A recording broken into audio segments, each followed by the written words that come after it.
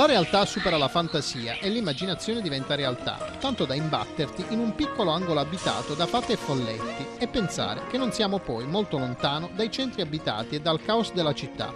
La domenica si può fare nel Parco Naturale di Selva Reale a Ruvo di Puglia, nel cuore della Murgia Barese. I bambini incontrano i personaggi fantastici e questa è la Casa delle Fate all'interno di un bosco incantato. Atmosfere da favola, le vivono i bambini certo, ma anche i più grandi, alla scoperta di emozioni nascoste dal tempo. Le Fatine e un esploratore strambo coinvolgono i partecipanti in ricerche ai limiti della realtà e in incantesimi magici.